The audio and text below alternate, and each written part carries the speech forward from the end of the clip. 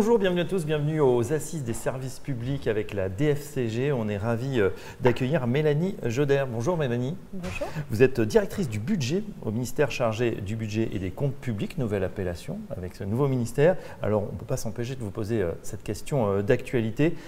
On a une situation économique euh, extrêmement dégradée. Euh, vous êtes en, plein travail sur le, projet de loi de finances.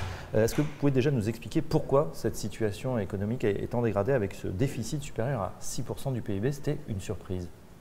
Alors le Premier ministre a effectivement annoncé que le déficit serait supérieur à 6% en 2024. Nous avons néanmoins l'objectif de le ramener à 5% à l'occasion du PLF 2025, donc en l'espace d'un an.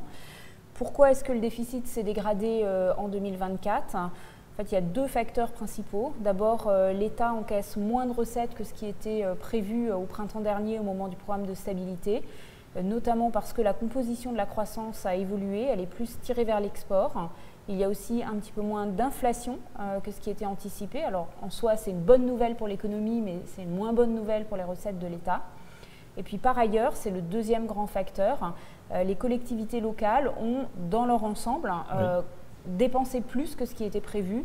On est à un point haut du cycle électoral. Dans deux ans, il y aura des élections municipales. Et puis, euh, donc ça amène des dépenses d'investissement dans les collectivités. C'est quelque chose d'assez classique. Et par ailleurs, les dépenses de fonctionnement des collectivités sont aussi très élevées. Donc voilà, c'est deux grands facteurs, les pertes de recettes et les dépenses des collectivités locales. Qui explique donc ce dérapage. Alors pour y faire face, il faut maintenant, le Premier ministre a annoncé un plan de 60 milliards d'économies. Comment fait-on?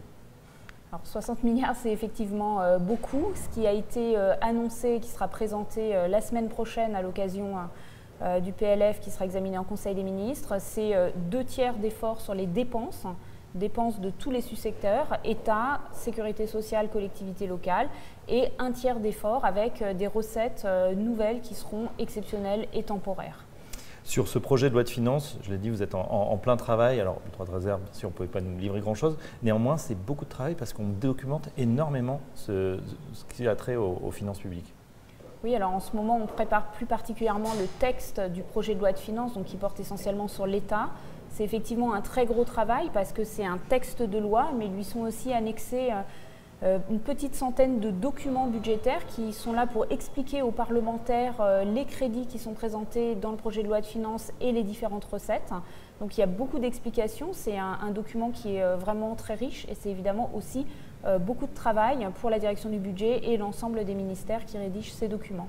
Très bien. Je voulais parler aussi de la démarche de, performance dans votre ministère. C'est vrai qu'on en demande beaucoup aux, administrations. On aimerait en savoir plus. Euh, justement, quelles sont euh, euh, ces, démarches que vous avez mises en place, notamment à travers, je crois, un, baromètre de l'action publique? Absolument. Alors on essaye vraiment d'avoir une démarche qui porte sur la qualité de l'action publique et pour ça il faut savoir analyser la performance. D'abord, classiquement et depuis la mise en œuvre de la LOLF, on a toute une série d'objectifs et d'indicateurs de performance qui sont associés aux dépenses.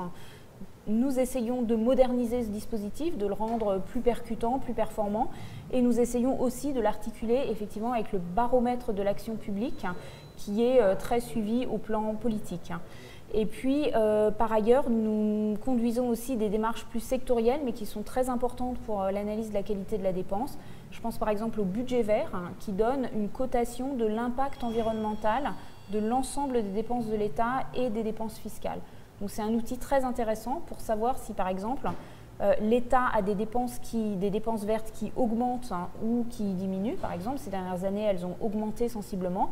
C'est aussi un outil intéressant pour voir si les dépenses brunes, donc celles qui sont défavorables à l'environnement, permettent de se stabiliser ou de baisser. On termine, Mélanie Joder, avec la modernisation des outils. Hein. Euh, l'administration euh, publique n'est pas en reste sur justement euh, l'informatisation, la numérisation. On essaye justement de, progresser et d'avoir cette donnée la plus fine possible. Absolument. On continue de progresser sur l'utilisation de Chorus, qui est le système d'information financier qu'utilisent tous les ministères au sein de l'État et dans les services déconcentrés.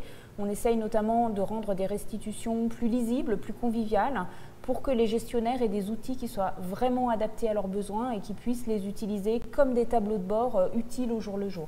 voilà, donc ça veut dire aussi que bah, l'État n'est pas en reste. D'ailleurs, l'État français a cette uniformité des, outils qui est, qui est nécessaire justement pour suivre la dépense publique. Merci Mélanie Joder. Je rappelle que vous êtes directrice du budget au ministère chargé du budget et des comptes publics.